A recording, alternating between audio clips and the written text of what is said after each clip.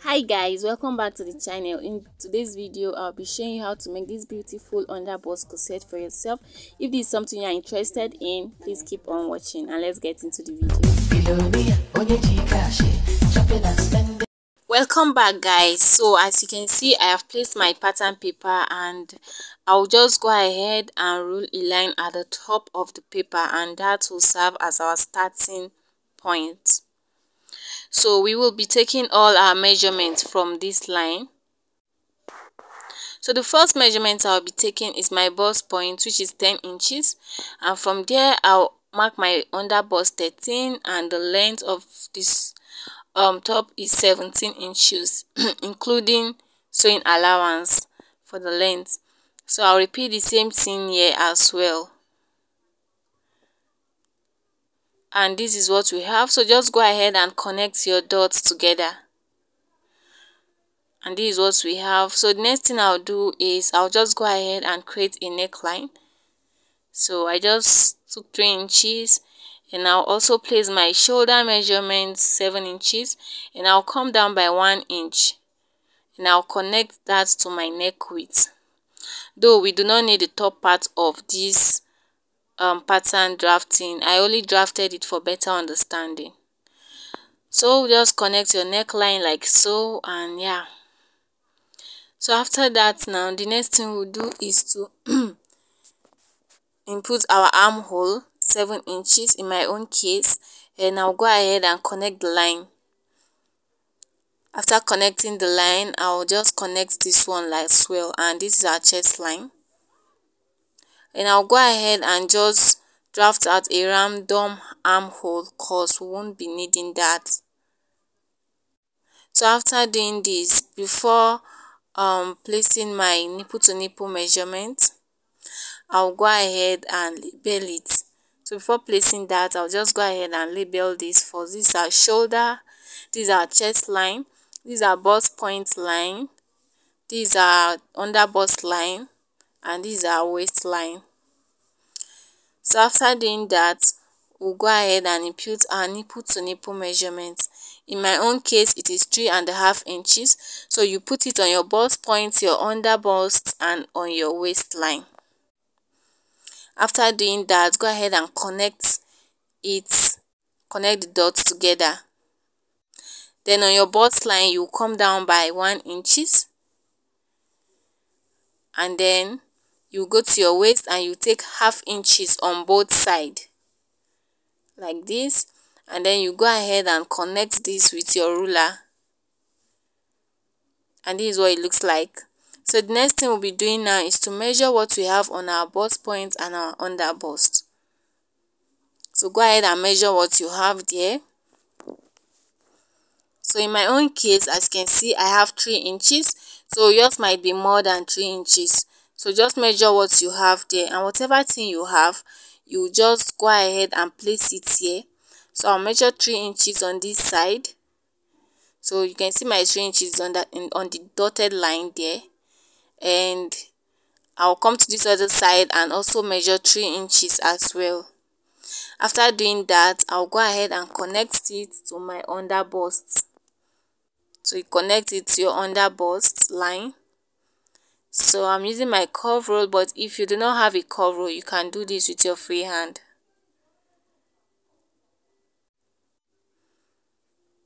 So that's one side. And this is the other side. So this is what we have. After that now we'll go ahead and place our body measurement so i'll place my bust measurement divided by 4 i'll place it here and I'll add 1 inch stitch for stitching allowance 1 inch. So I'll come to my waist place my waist circumference measurement replace this dart that I took here 1 inches. I'll replace it and then I'll add 1 inches for stitching allowance. After that I'll connect it with my ruler and this is what it looks like. So this is what we have after drafting. So we'll go ahead and cut this out. So we do not need the top part. So you can see this is just the part we need. And please watch how i cut this so you won't make mistakes when cutting yours. So please consider subscribing if you haven't done that. Don't forget to share comment leave a suggestion. So this is what we have this is the part we'll be working with. So we'll go ahead and draft out the back pattern. So for the back pattern you can see that i have um, zipper allowance here. So but i'll not be making use of a zipper though. But this will just serve as a guideline. And for those that want to use zip for theirs. So you can see what i have. So what i'll do now is to place that part make sure it is on the line of that your zipper as you can see and i'll measure that one inches. That one inches that we took. So i'll measure it and i'll just take off this pattern paper and rule a straight line there. So this straight line will just um, make it easier for me just for me to have a straight line and then i'll place it back like this on that one inches mark like so just make sure you place it well and then I'll just go ahead and hold this down so it won't be moving when I'm trying to draft. So after doing that now I'll just go ahead and trace the side. So I'll just trace the side of this back piece like this. Trace this side and I'll trace the top parts a bit of the on the top part I'll just trace out a bit like so trace out this other side and then I'll go ahead and um, to make a dot on the dart as well then remove your front piece. So now we'll go ahead and just draft out the back. So for the back I just want the neckline to be curvy. So I'll just go ahead and from this side here you can see how I slanted my ruler. So that's just the difference. And then for the dart I'll just go ahead and create my darts and that's all for the back piece. So you can see how easy it is. So after doing that go ahead and cut it out. So guys um if you haven't subscribed so far please consider subscribing turn on notification bell so this is what we have for the back piece. So i'll not be making use of this zipper part because i'll be making use of a loop. So i only need this part. I just went ahead to because i so i just went ahead to make those dots there. It's not necessary. So i'll not be making use of these parts because i'll be making use of a loop. So i only need this other part for the back. So let's go ahead and cut it so cutting this out on this fabric this is the fabric i'll be working with you'll be adding half inches stitching allowance on your pattern on your fabric sorry. So you can see what i have and you can see how i am adding half inches stitching allowance. Please guys measure this. Do not cut it like this especially if you're a beginner. Just measure half inches. So i went ahead to add half inches. But i did not add this half inches um on the length of the um of the dress because I already did that. So this is what we have. You can see my stitching allowance and I cut out the center piece on fold. Why this other side they are not on fold? I hope you understand. So we'll go ahead now and start um, sewing. So I'm just marking the rough side of the fabric. So I won't end up mixing it up so this is the center um, piece. You can see that it is on fold. You can see it is on fold. So go ahead now and put it like this. So just go ahead and place it right side facing right side and pin it down. Then you use the half inches that allowance you took to just stitch it down. So I'll go ahead and stitch it down and I'll do the same thing for the other side as well so this is what we have after I was done stitching it down. You can see what we have. Go ahead and iron this. So we'll bring out the the back piece. And this is the back piece. I'll just keep the lining piece for now. So this is the back piece. And I'll go ahead and also mark out the rough side with my chalk so I'll go ahead and mark out the rough side so that I won't end up mixing it up. After doing that just go ahead and place it the way it's supposed to be. So after you must have arranged it well pin it down like so after pinning it down remember when we're drafting this i took one inches for stitching allowance. So i'll go ahead and mark that one inches that i took. So go ahead and mark your stitching allowance. Yours could be more than mine. So the one inches and i'll stitch it down and i'll repeat the same thing for the other side. And this is what we have. You can see i've gone ahead to stitch this down. And this is my bias so this is my black bias. I'll just go ahead and mark the midpoint of the center front like this. Then i'll just rule a line. Then i'll place my bias on it like so. And i'll go to my machine and stitch it down on both sides so i hope you understand. So you go ahead and stitch this down. And i'll repeat the same thing for um this other side as well. This other side. All the side where i i have um stitch or stitching all the side i stitched i'll just place my bias there and i'll stitch it down. And then on this side you can see that i already have one inches. So you just mark one inches away from that part away from this part and then you also place a bias there so that one inches i'll be showing you what to use it for later. So just go ahead and do that and i'll come back and show you. So this is what we have. I also went ahead to iron it. So you can see my bias and you can see the one inches. You can see that i hope you understand what aisha did. So this is what we have. So next thing we'll do now is to bring our boning so this is the boning i'll be making use of so you just measure your boning like this. Make sure you have space at the top and at the bottom. I don't know if you understand but make sure there is a space at the so you can see i left like half inches at the top and half inches at the bottom. So i'll go ahead and cut this out now. After cutting it out i'll just go ahead and um, use my lighter to burn the the mouth so that it will not um to burn the mouth. After that go ahead and just put it inside like this. So if you look closely you can see i have allowance at the top and at the bottom. So that's how you should place yours. So i'll go ahead and repeat the same thing. Measure it leaving half inches on both sides at the top and at the bottom and then you place your boning. So i'll just keep on doing that until i am done.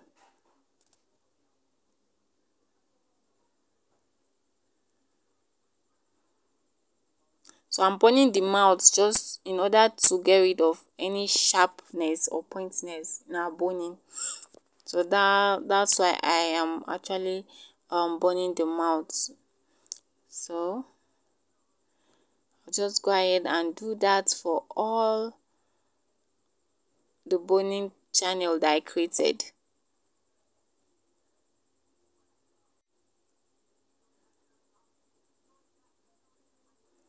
So after doing that, this is what it looks like. You can see that it's not flat again. but don't worry when you iron it to sleep. So next thing this is our lining piece i did the same thing on my lining piece. So you place it right side facing right side and you go to your machine after placing it. So let me just pin it down. So you go to your machine and you stitch the top part. Remember that's why i said you should leave half inches. So you stitch it like so stitch the top part like that so i'll go ahead now and just stitch it and come back and show you. So this is what it looks like after i was done stitching it. I'll go ahead now and notch it.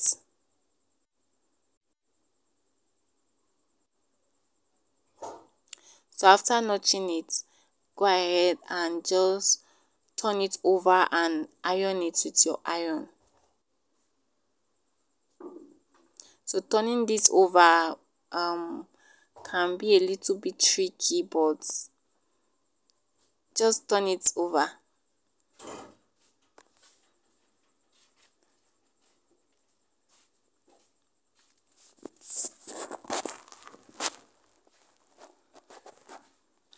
So just take your time and turn it over. After doing that go ahead and just iron it out. So that's just what i am trying to do now so this is a very detailed video guys. I'm showing you guys everything. So this is what we have. So i'll go ahead and iron it. So you can see how flat it is after i was done ironing it. And look how neat it is looking and how beautiful it is already looking. So the next thing we'll do now is this boning casing. You go ahead and measure what you have here. So you can see how i measured mine. So go ahead and do the same thing as well. So what you do now is measure it like so and then you cut it out the way i just did. So after doing that you just go ahead and open your top like so then you place this inside. So just watch how i am placing it. I don't know. I don't know how to explain this part just place it inside and then arrange it well then you run a stitch or close to that the boning. So you just go ahead and stitch it down. And that's just all. Now this can be really difficult because you have to be arranging it when you are stitching. It's not like it will just slip like that. So you'll be arranging it as you are stitching. So i'll repeat the same thing for this other one. You can see. So you just stitch it like so down. And that's all so just arrange it well and then go ahead and run a stitch there. So i'll go ahead and do that now. So this is what we have. I don't know if you can see the stitch we have here. So you can see how it is now and how beautiful this is looking already. So this is what we have. So the next thing we'll be doing now after doing that is to turn the fabric again like so. And then this time around turning this over is wow it was not easy actually. So you just turn it um, over just take your time so you won't end up ruining your clothes. So we'll just turn it over like this and we'll stitch the bottom part of this. I don't know if you understand so you just stitch it down put that inside and also stitch it down. So that's just what um we'll be doing here. So just take your time. And this is what we have. So i'll go ahead now and bring this out. Bringing this out again was really another hmm. But it was all good. Just take your time anyway. Just take your time. You can do it. So i'll just bring it out carefully so don't rush just bring it out gently and it will come out it will be nice. So after bringing this out this is what it looks like. So just go ahead and arrange it and then after arranging it so after arranging this now this is what it looks like. Though i'll iron it. So the next thing you do is fold this edge inside. That one inch that i asked you to leave so you fold it inward like so. So you see what i'm doing? Just fold it in and then you go ahead and iron it flat. So fold it in then iron it. So you have something like this when you are done. I'll do the same thing for the other side as well. So you go ahead and also press your clothes. Iron it flat so yeah go and do that. And this is what we have after i was done. So um i'll go ahead now and show you guys the um this is it. So this is the you can see what i mean or what i meant. You can see how i ironed it flat. So what we'll do now is this is um a bias a bias i just folded it into two and i stitched it down. So i'll just go ahead and measure two inches and i'll cut it out. So this two inch um and i'll cut it out. So i'll be using that as my loop. So that place i've ironed i'll just fold it inward like this and i'll pin it down. So just go ahead and do the same thing. Fold it inward and then pin it down so I'll come to the um the down part of the clothes and I'll repeat the same thing. Fold it in and pin it down.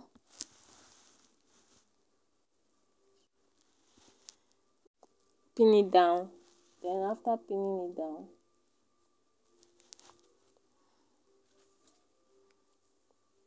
so pin pinning this down was a bit difficult but I just had to show you guys what I did here so go ahead and pin it down. So what we'll do now is to measure um what we had the distance between here to the other side. And I have four and a half. So I divided four and a half and I just placed the midpoint and I'll place the other one there as well and pin it down. So after doing that you just go to your machine and you run a stitch on it. So this is what we have. So I'll go ahead and run a stitch on it twice so that it will stay well. So I'll repeat the same thing for the other side after ironing it. And this is what we have for the both side. So you can see what we have. We are basically done with our top. You can see how beautiful it is guys.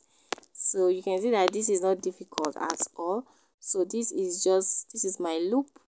Just cut out these pieces from the fabric so guys if you find this video helpful please please consider subscribing. Do not forget to share turn your, not your notification bell to get notified when i upload a new video. Do not forget to like share. Do not forget to leave a comment a suggestion. Tell me if you find this video helpful. So just say one or two things guys. So this is our top and this is how beautiful it is. So you can see what we have so guys let's see you in my next video. Bye